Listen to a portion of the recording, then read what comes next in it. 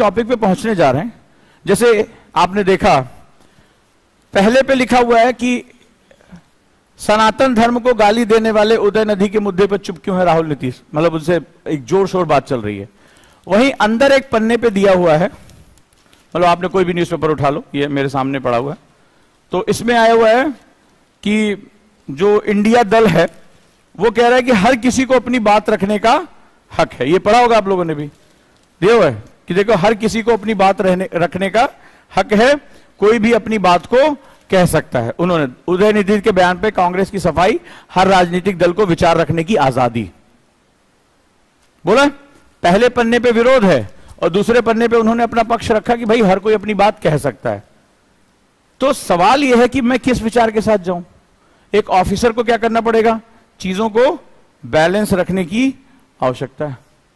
तो अब सवाल यह है कि जो मैंने तुम्हें सिखाया, आज चूँकि हम एक और हिस्से में इंटर करेंगे इश्यू के बारे में जो हम मुद्दे की बात कर रहे थे। तो मुद्दे में एक वर्ड आएगा और वो है कॉन्फ्लिक्ट ये आपको बहुत परेशान करेगा। तुम्हारे मार्क्स खा जाएगा ये। अगर तुमने न्यूट्रल अप्रोच जनरेट नहीं किया तो।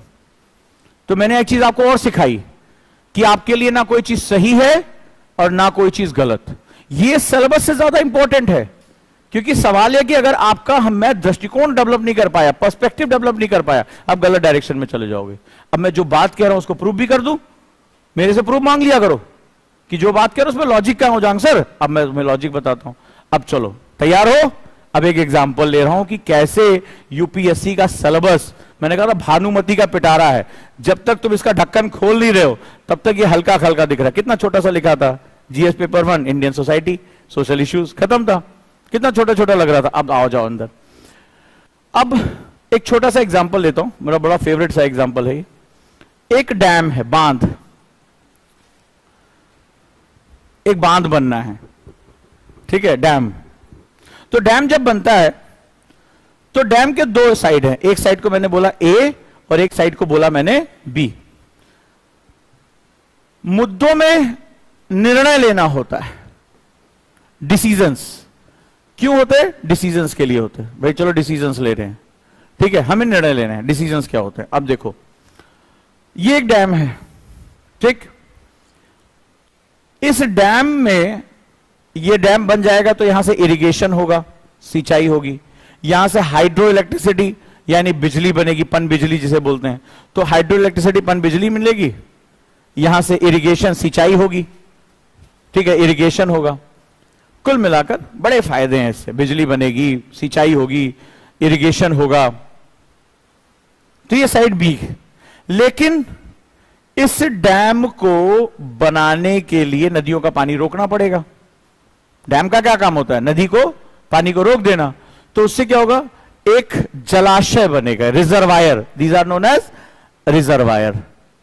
तो पहाड़ों के बीच में डैम ऐसे बना दिया जाता है और रिजर्वायर पानी भर देता है। इसको जलाशय बोलते हैं।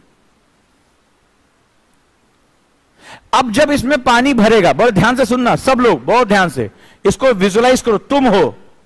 अब मैं तुमसे बता रहा हूँ कि क्यों मुश्किल होता है एक एटीट्यूड डेवलप करना। और टीचर को अपने स्टूडेंट का एटीट्यूड सबसे पहले डेवलप कराना, सिखाना चाहिए। सब्जेक्ट में सीधे घुसा देते हैं।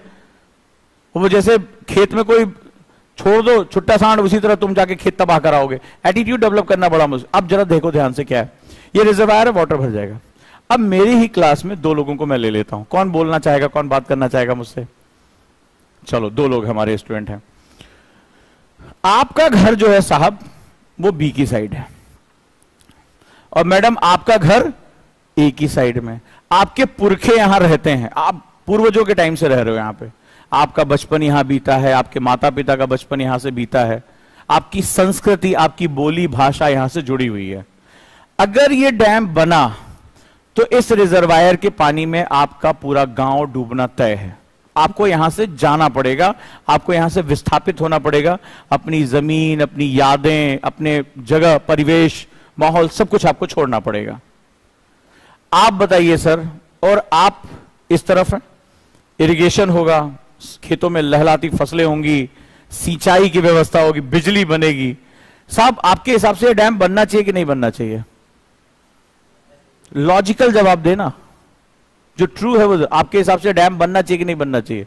बहुत दिन से आपके खेत में पानी नहीं आ रहा था, बाढ़ का पानी बर्बाद कर दे रहा था, रुक जाएगा, बिजली बनेगी, आपके अस्पतालों को बिजली चली जाएगी। फ़ायदे हैं। बनना चाहिए। मैडम, आपके हिसाब से ये डैम बनना चाहिए कि नहीं बनना चाहिए? आपके पूरे परिवार को उजड़ना पड़ेगा। लिटर एकदम प्रैक्टिकल जवाब देना।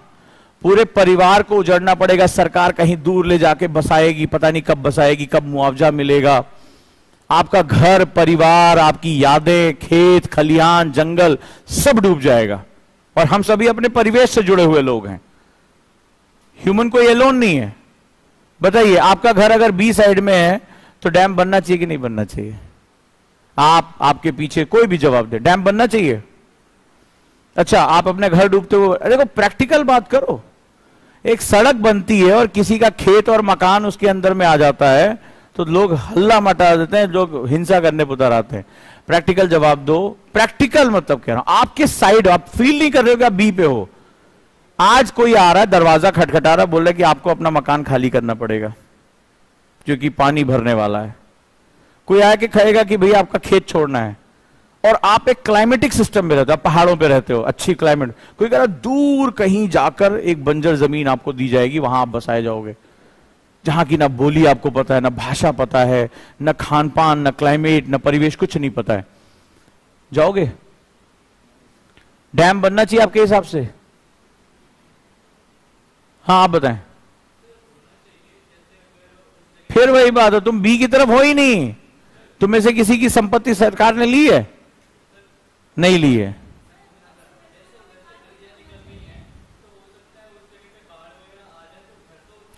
आप अब कह रहे हो, आप वहाँ नहीं हो। पहाड़ी आदमी कल समझाया था ना, वो नदी वाला एग्जांपल दिया था ना कि बहुत दिन से तुम गंगा माई गंगा माई कर रहे थे। एक दिन गंगा माई ने कहा, आओ, मिली लो। पहाड़ी आदमी नदी तलहटी में नहीं रहता है। पहाड़ों, तुम देखो, पहाड़ चढ़ता है। कभी पहाड़ी आदमी के पैर देखना बड़े मोटे मोटे मज़बूत होते हैं। वो पहाड़ पे जाएगा, ऊपर रहता है। उसको पता है, जंगल कैसे बिहेव करता है, पहाड़ कैसे बिहेव करता है, क्योंकि ये लोग प्रकृति के साथ रहना सीख चुके हैं। इन्हें पता है बिहेव कैसा है, ये हमें नहीं पता। हम अपने आप को सो कॉल्ड प्रोग्रेसिव लोग कहते हैं, हमें नहीं पता कि एक पेड़ काटने से क्या नुकसान होगा। उस पहाड़ी आदमी को पता है कि पेड़ कितना इंपॉर्टेंट है उसके लिए। तो कल चिपको आंदोलन का एग्ज़ाम्पल लिया था, इसका मतलब तुम सारे के सारे क्लास को लिख नहीं रहे हो। तो अब तुम थोड़ी देर के लिए प्रैक्टिकल कोई मुझे जवाब दो कि तुम बी साइड में हो, तुम्हारे पुरखों के मकान है। बनने दोगे? क्योंकि इस देश में उठा के देख लो, चाहे कावेरी जल विवाद हो, चाहे दुनिया भर में कोई भी डैम की बात हुई हो, जहाँ पर गहरी, बड़ी आबादी रह रही है, हर बाँध के पीछे विरोध हुआ है। ये सच्चाई समाज है ना? क्योंकि एक तरफ़ सरकार के से बड़े फ़ायदे हैं। मैं आज जाके नेट पे सर्च करना ओल्ड टेहरी जब टेहरी बाँध बनाया गया था तो एक बड़ी खूबसूरत सी जगह थी। बड़ा खूबसूरत सी कल्चर थी ओल्ड टेहरी पुरानी टेहरी बड़ा वहाँ अच्छा हथकरघा उद्योग था